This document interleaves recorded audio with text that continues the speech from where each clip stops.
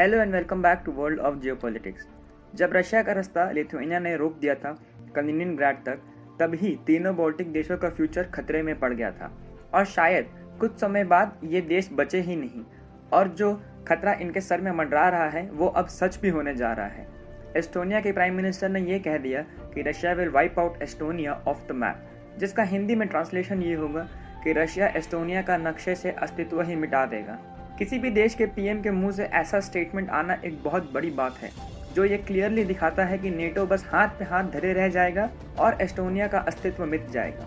Estonia के current prime minister ने ऐसा इसीलिए कहा क्योंकि रशिया का एक हेलीकॉप्टर जो मिसाइलों से लैस था, उसने एस्टोनिया की एयर स्पेस को वायलेट किया, उसके अंदर घुसा, आराम से कुछ मिनट तक उड़ता रहा और फिर बड़े आराम से वापस रशिया चला गया। तो आखिर रशिया ने ऐसा किया क्यों है? उसके पीछे का कारण ये है कि कुछ दिनों पहले ही अमेरिका के एंथनी ब्लिंकन ने स्टेटमेंट ये दिया है कि बॉल्टिक देश डरे नहीं।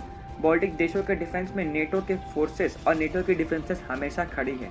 मगर, इफ़ नेटो के रूल्स के हिसाब से यहाँ बात करें तो अभी तक नेटो के फोर्सेस को कम से कम एस्टोनिया में असेंबल हो जाना चाहिए था। रशिया में अटैक तो दूर की बात है बट कम से कम अगर नेटो के फोर्सेस एस्टोनिया में आके बस जाती कुछ देर के लिए ही सही, या फिर कुछ हफ्तों के लिए सही तो रशिया को एक क्लियर मैसेज चल जाता कि आप जो हरकतें कर रहे हैं, ये ज़्यादा दिन तक टिकेगी नहीं। बट जैसे कि रिसेंट जियोपोलिटिकल इवेंट्स में देखा जा रहा है नेटो एक टाइम पे ऐसी ऑर्गेनाइजेशन जिससे लोग लगने से पहले दो बार सोचते थे, अब वो धीरे धीरे बहुत ही वीक पड़ते जा रही है।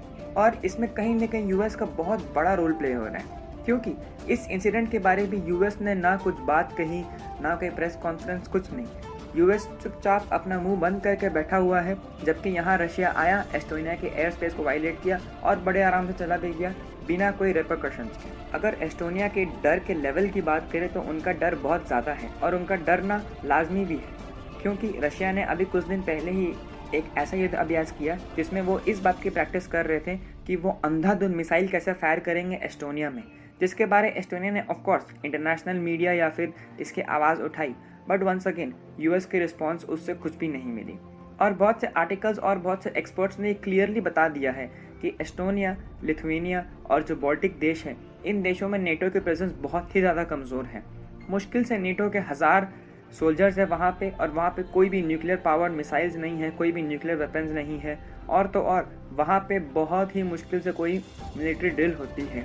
सबसे रिसेंट जो हुई भी थी वो थी फ्रेंच पैराट्रूपर्स की जो फ्रांस के पैराट्रूपर्स वहाँ आए, कुछ ड्रिल्स किए और वहाँ से वापस चले गए। उसके अलावा इस पूरे साल किसी भी देश ने आके एस्टोनिया में कोई भी ड्रिल्स नहीं की, ना ही नेटो ने अपने सोल्जर्स बढ़ाए हैं, ना कोई वेपन्स दिए हैं। तो इन सारी चीज़ों को मद्देनज़र रखते हुए एस्टोनिया में डर का माहौल और तो और एस्टोनिया के प्राइम मिनिस्टर का ऐसा बात बोलना एकदम प्रैक्टिकल और जायज़ है।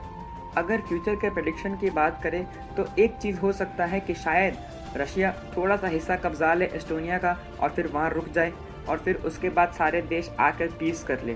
क्योंकि ऐसा अब पॉसिबल नहीं है कि रशिया बाल्टिक देशों को इन्वेड नहीं करेगा।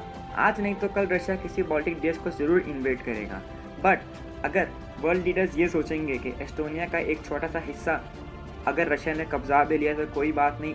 उसके बाद हम लोग पीस मेंटेन कर लेंगे तो वो होगी सबसे ज़्यादा बड़ी गलती, क्योंकि वर्ल्ड वॉर टू में भी एडोल्फ हिटलर ने ऐसे ही छोटे छोटे छोटे छोटे एरियाज़ करते करते पूरे के पूरे देशों को ही कब्जा लिया था, और बहुत से देश बस हाथ पे हाथ धरे बैठे रह गए थे। और उसका सबसे प्राइम एग्ज़ाम्पल था जर्मनी का इन्वेजन ऑन पोलैंड तो इतने सालों के बाद और इतने मॉडर्न एडवांसमेंट के बाद, क्या ह्यूमन काइंड फिर से वही मिस्टेक करेगा, या फिर ह्यूमन काइंड इस बार वर्ल्ड वॉर थ्री को होने से पहले ही रोक देगा?